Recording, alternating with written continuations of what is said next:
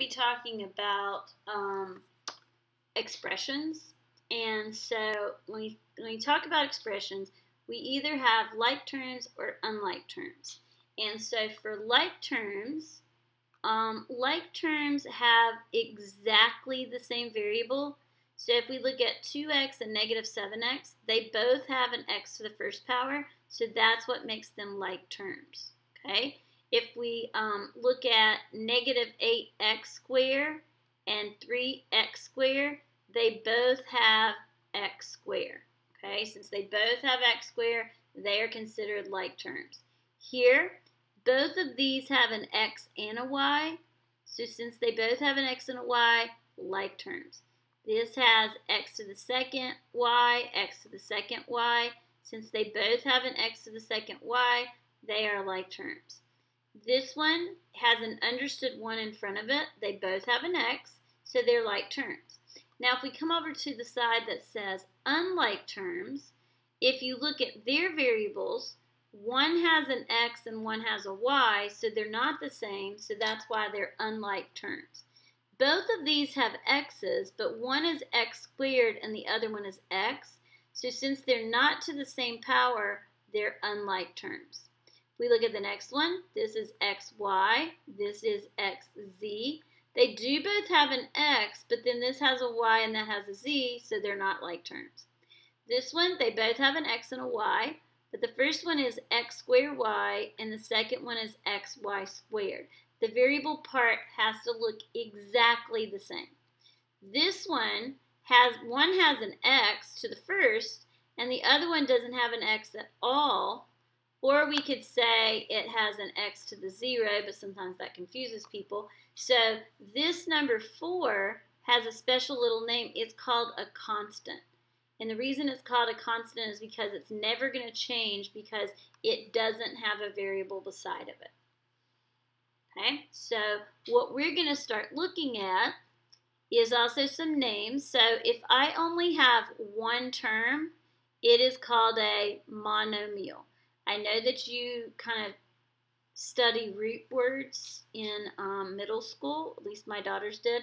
So mono means one. So if two things are multiplied together, that is considered one term. A binomial, kind of like a bicycle, so it represents two. So what that means is you have two different terms and they have a plus or a minus sign in between. So the terms are divided by adding and subtracting. Then we have a trinomial, which is kind of like a tricycle. So it's the same thing. We have three terms, and they have pluses. They could also have minuses in between. Then after we get to a trinomial, we just call the rest of them polynomials.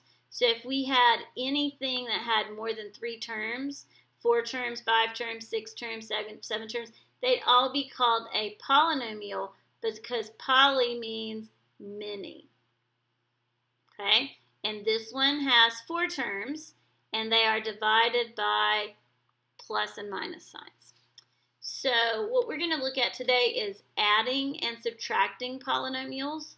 So polynomials, remember, are three or more, and sometimes they also call them, if they just have three terms, polynomials is what they use for all of them, even if they have two or if they have three, but definitely if they have more than three. So the example is we're going to add this and we're going to add this to it. So what we have to do is we kind of go back to those like terms. So since 3x squared and 4x squared both have an x squared, they're considered like terms. I usually like to like line mine up. You don't have to line them up if you don't want to, but also do remember that that x squared has an understood 1 in front of it. So 3x squared plus 1x squared is going to give me 4.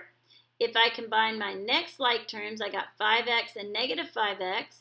So when I combine those, they are like terms because they both have x's.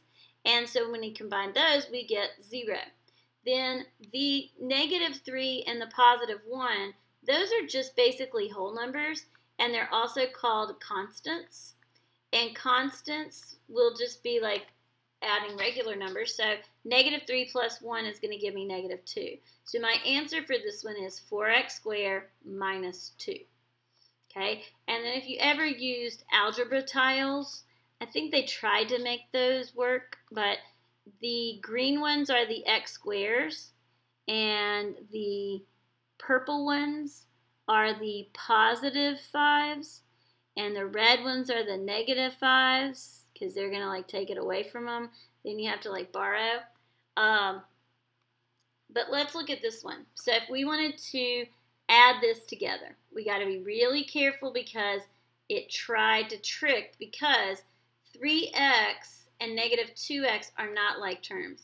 So you got to go through there and you got to make sure that you pick the ones that are like terms. Now what I would suggest is to rewrite it. See how this is rewritten?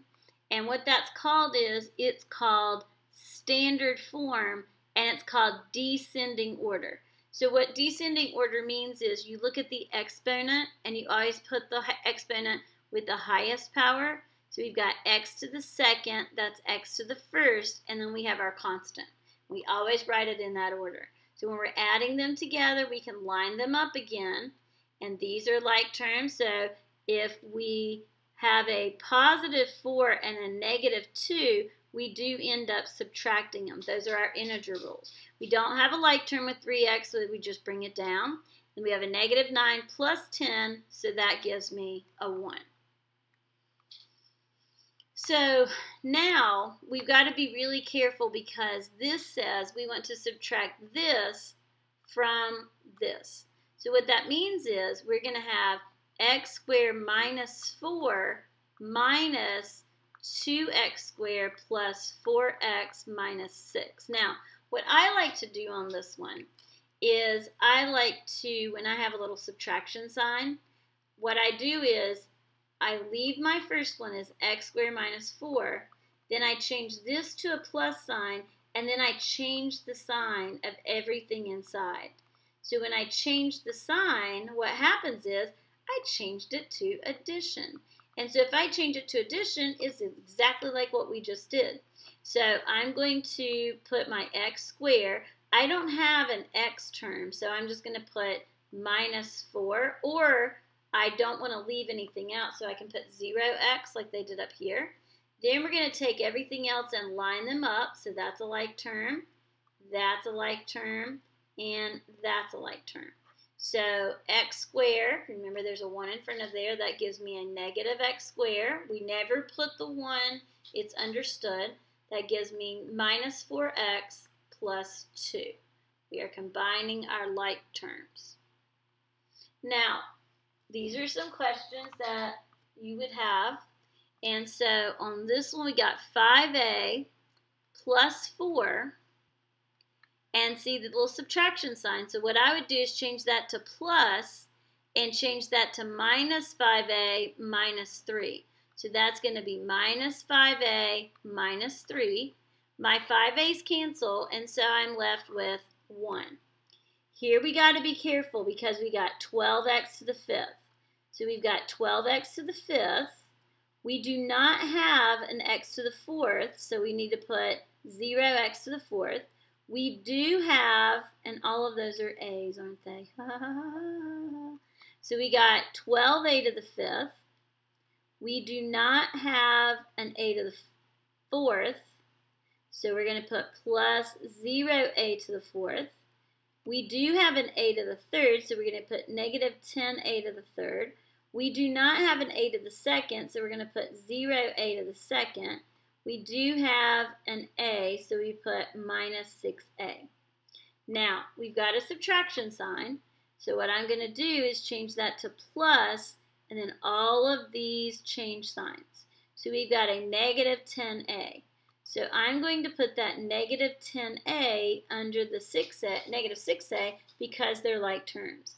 Then we have 2a to the fifth, and I butchered this, so I'm going to make it better. So you can definitely see it's a to the fifth. So we got 2a to the fifth, and now it's positive because we changed it. And then we have 14a to the fourth, so we would put 14a to the fourth underneath here. And then 12 plus 2 is going to give me 14a to the fifth. 0 plus 14a to the fourth is going to give me 14a to the fourth. I don't have anything down here, and I could put 0 a to the third if I want to, plus 0 a to the second. So then that's going to be giving negative 10 a to the third.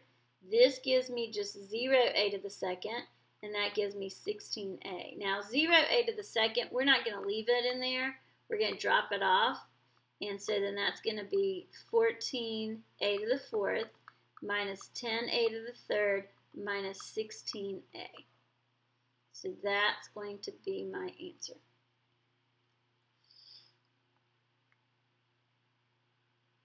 And then that is, again, these are like lots of different questions. Now, um, I want to make sure that we get to multiplying a monomial by a polynomial. And we've done this before with just a number. So we're going to be using the distributive property. Okay, so we did this, I think, in the first unit. So if we have 4 times x plus 2, we do 4 times x, which is 4x, and then plus 4 times 2, which is 8. But these are going to get a little bit harder in that we're going to use our exponent rules, which is if we multiply exponents, we add them. We add the exponents, okay? So I'm going to kind of walk through this problem. So we got negative 4a to the third times 3a to the third minus 5a squared plus 2a minus 6. So what we're going to do is we're going to take that negative 4a to the third and we're going to multiply it. Now this is just an extension of what we've done before. So I'm going to write it out the long way so you can just sort of see where it comes from. You do not have to write it out the long way. But we're going to take that negative 4 and we're going to multiply it by 3a to the third.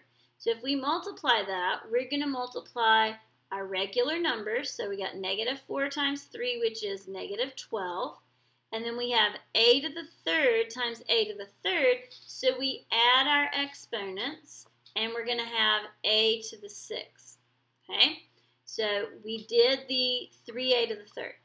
So now we've got to go back and get a different color, and we're going to multiply negative 4a to the third times negative 5a. So our next little part is going to be negative 4a to the third times negative 5a squared. So that when we multiply that, we get a negative 4 times negative 5, which is 20. a to the third times a to the second, we're going to add them, and we're going to get a to the fifth. Then we're going to do our, we've done our negative 5a squared. So now we're going to multiply negative 4a to the third times 2a. So we're going to have negative 4a to the third times 2a. So we're going to do negative 4 times 2, which is negative 8. a, we got to be really careful because there's a 1 there. So we're going to add our exponents so we get a to the fourth. And then the last one that we're going to do is we're going to do negative 4a to the third times negative 6. So we have negative 4a to the third times negative 6. So negative 6 times negative 4 is going to give us a positive 24. And we don't have another a, so that's just going to end up being a to the third. Now, you do not have to write it out like that. Most of the time, students get to where they can just multiply it in their head and they say, Negative 4 times 3 is negative 12. Then I add my exponents. Okay, so this also wrote it out the long way, but you can start trying to skip that. So if we look at this one, pause the pause the video, try it, and then come back. So when we do this one, we could write it out the long way. You didn't have to. So you're going to take this and multiply it times this. So you're going to have 16 c to the fifth, d to the second. And then we're going to take that negative 9 c to the seventh, d to the third, and multiply it times this one. So you're going to have negative 9 c to the seventh, d to the third, and we're going to multiply it by negative 5 c to the second, d to the fifth. Okay? So we're going to multiply 9 times 16. Now, if you don't know what 9 times 16 is, just write it out. 9 times 6 is 54. 9 times 1 plus 5 is 14. So we get negative 144 because we multiplied our regular numbers. Then we're going to multiply c to the 7th times c to the 5th. So we add our exponents. So 7 plus 5 is going to give me c to the 12th. Then we do d to the third times d to the second. We add our exponents so we get d to the fifth. Then we're going to come over and we're going to multiply negative 9 times negative 5, which is a positive 45 c to the seventh times c to the second is going to be c to the ninth. And d to the third times d to the fifth is going to be d to the eighth. Now, when I get to this point, um, if I look at the variable part, they both have c's and d's, but this is c to the 12th, d to the 5th, and this is c to the ninth, d to the 8th. So they're not like terms, so my final answer just has to be negative 144 c to the 12th, d to the 5th, plus 45 c to the 9th, d to the 8th. And we always write our variables in alphabetical order. Try this one. Pause it, then check your answer. So we're going to have 8c to the 2nd, d to the 2nd, times 3c to the 4th, d to the 3rd, plus a, c to the second, d to the second, times 10, c to the third, d to the fourth. Then we're going to have plus a, c to the second, d to the second, times 11. So we're going to go back. We're going to say 8 times 3, which is 24. c to the 2 plus 4, which gives me c to the 6. d to the 2 plus 3 gives me d to the 5th plus, we're now going to do 8 times 10, which is 80. c to the second times c to the third, which is c to the fifth. d to the second times d to the fourth, which is d to the sixth. Then we're going to have 8 times 11 is 88. 11 doesn't have any variables, so then that's just going to be c to the second, d to the second. And if we look at the variable part, they all have c's and d's, but they are raised to different powers. So that right there, I can't combine any like terms because they're not any. That's my answer. Okay, try this one. So we got 3c d to the fourth times 2c to the fourth um, plus 3c d to the fourth times negative 5c to the second d to the second plus 3c d to the fourth times negative 18d to the fourth.